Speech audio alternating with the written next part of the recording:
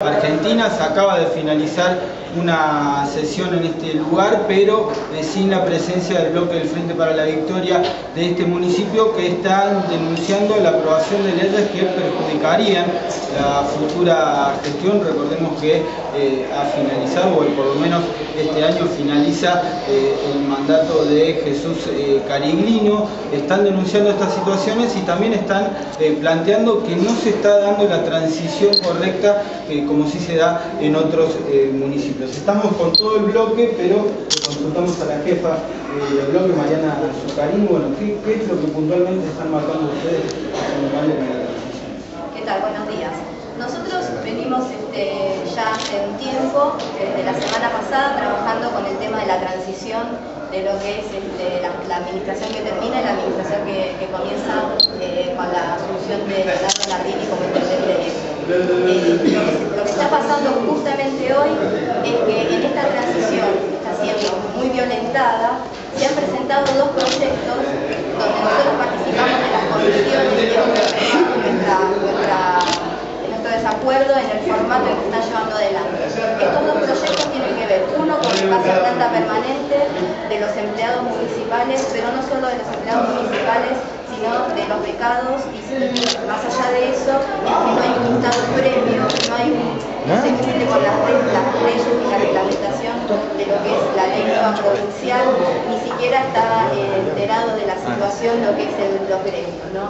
para ver cómo está dando este pase a planta permanente. Por otro lado, se está haciendo en un momento donde es una transición de administración, como decíamos recién, y eh, eso creo yo, creemos nosotros como bloque, que se debe hacer con la nueva administración este señor intendente tuvo 20 años en el gobierno, nunca ha pasado un solo empleado a planta permanente, solo están los 273 o 93, no van a dejar compañeros, empleados que vienen de cuando era general Sarmiento y no puede ser que ahora se acuerde de hacerlo. Y lo está haciendo porque no es que va a pasar a los empleados que en este momento están trabajando. Él va a pasar a la familia de, a los amigos de, a la patota de, entre ellos está Juan Bóscoro, que es uno de los personajes que nosotros sufrimos graves lesiones y fue muy violento en la campaña electoral, que tiene varias denuncias, entonces no se están cumpliendo las reglas que se tienen que cumplir para lo que es el pase a planta permanente de los empleados. Por otra parte, se ha presentado otro proyecto que tiene que ver con eh, la modificación de la grilla salarial este, en esa modificación lo que se plantea es un aumento impresionante de lo que es el, valor de la categoría 5. En base al valor de la categoría 5 viene el resto de las categorías por lo que marca la ley. ¿no? Eso hace que desde la categoría 5 hasta la 17 nosotros como bloque hemos presentado un acuerdo de que sí aprobábamos esa situación, pero no aprobábamos lo que es el, el incremento de las categorías jerárquicas. Cuando estamos hablando del incremento de, las categorías jerárquicas, estamos hablando de que el, sueldo del intendente se va de 56 mil pesos a 138 mil pesos. ¿no?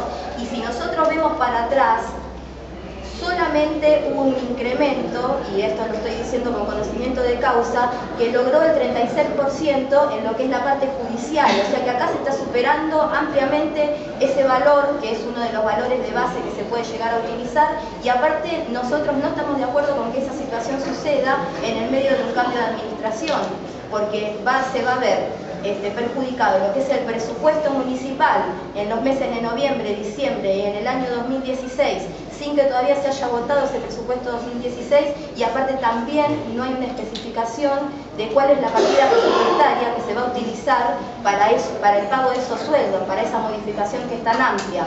Entonces, nosotros esos son los planteos que hicimos y lo presentamos como dictamen en minoría en las comisiones pensando que la sesión iba a ser el día jueves por calendario ordinario que fue votado en el Consejo Deliberante, puesto que el presidente del Consejo Deliberante, con la autorización del intendente municipal, genera hoy una sesión ordinaria, la cual nosotros denunciamos que es totalmente arbitraria, totalmente nula, está fuera de lo legal y en este momento nuestros abogados, en nombre de Leonardo Nardini, el intendente, eh, el intendente electo, y en mi nombre como presidenta del bloque, estamos haciendo una denuncia, presentando una cautelar en San Martín ¿sí? y un recurso de amparo, para que todo lo que se trató hoy en sesión quede absolutamente nulo, ¿sí? que pase a una nueva sesión ordinaria, que se trate con la nueva administración y por supuesto todos nuestros compañeros del bloque, que somos nueve, hemos aceptado esa denuncia, nosotros dos como denunciantes y, los ocho compañeros como testigos de lo que está pasando, porque no puede seguir pasando esto. ¿Hubo algún tipo de reunión en este tiempo entre... Abajo el micrófono, chicos. teléfono para comenzar a hablar de, del paso de la un poquito de derecha, por favor. Todavía no. Adelante. Exactamente. Él todavía no reconoce que Leonardo Nardini es el intendente electo, elegido por los vecinos, entonces nunca generó este espacio de transición como debe ser. Nosotros como bloque nos hemos acercado a distintas dependencias, escuchando la denuncia de los vecinos de que hay un vaciamiento de hospitales, vaciamiento de los espacios deportivos, vaciamiento de lo que es el corralón. Nos hemos acercado, hemos sido recibidos por algunos funcionarios, en algunos casos nos han recibido muy bien, en otros no nos han dejado ingresar, y, pero fundamentalmente no nos han entregado lo que es el listado del patrimonio de bienes, ¿sí? donde ahí es donde nosotros con el listado de patrimonio de bienes podemos acercarnos y fijarnos de que verdaderamente el patrimonio esté en su lugar, ¿no? Pero más allá de la voluntad que tenemos nosotros como Frente para la Victoria, como concejal y representante de nuestro pueblo, el problema está en que no lo está llevando adelante el intendente, que él debería ser el intendente saliente, el que convoque al intendente electo y empiece una transición ordenada, ¿no? Después de 20 años. ¿ustedes hicieron una estimación de cuál es el estado actual de las cuentas del, futuro, presupuesto para la próxima administración? En realidad todavía no se ha acercado eh, ninguna este, información de lo que es la Comisión de Hacienda a, nuestro, a nuestro bloque, o sea que no sabemos bien cómo, se van, cómo está planteado el, presupuesto 2016, lo cual también hace que estamos en fecha ya de que deberían haberlo hecho y no lo hicieron. Todo lo que se lleva adelante acá en el Consejo Deliberante es totalmente arbitrario, siempre. Nosotros esta situación de una sesión ilegal ya la vivimos en, el 2014 y hemos presentado la, la denuncia correspondiente en San Martín ante el fiscal de Así que son cosas que nos vienen pasando hace rato, pero ahora se profundizan más y creemos nosotros que lo que ellos quieren hacer es un vaciamiento económico ¿sí? para no permitirle a Leonardo Martín comenzar una gestión como corresponde. Más allá de eso, ¿sí? lo vamos a llevar adelante porque nosotros lo vamos a acompañar a Leonardo Martín para la Victoria y por supuesto los vecinos también porque fueron quienes lo eligieron. Este aumento del 150% creo que es así, que se aprobó ahora. Eh, ¿Cómo estiman que va a impactar en el presupuesto teniendo en cuenta que buena parte de los recursos se destina a empleados públicos? Exactamente. Como dice mi compañero, está atentando contra el equilibrio fiscal en primera instancia.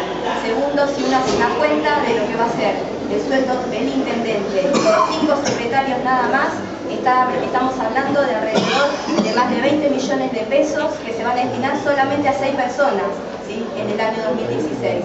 ¿Qué pasaría si eso nosotros lo extendemos a todo lo que son las subsecretarías, las demás, las demás direcciones, subdirecciones, ¿sí? Y todo lo que es el personal jerárquico. Esto atenta directamente contra el presupuesto municipal y atenta directamente contra el vecino, porque todo lo que se saque del presupuesto municipal para pagarle a este personal jerárquico son las cosas que le van a retirar al vecino y no le van a poder brindar el servicio que se merece a través de sus impuestos.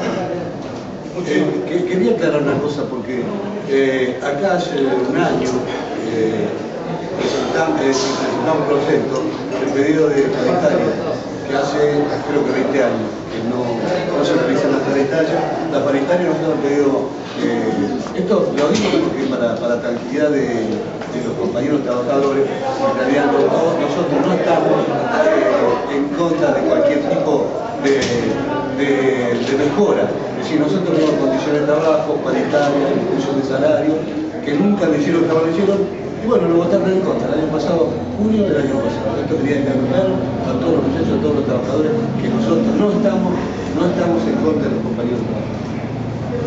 Bueno, tenemos la palabra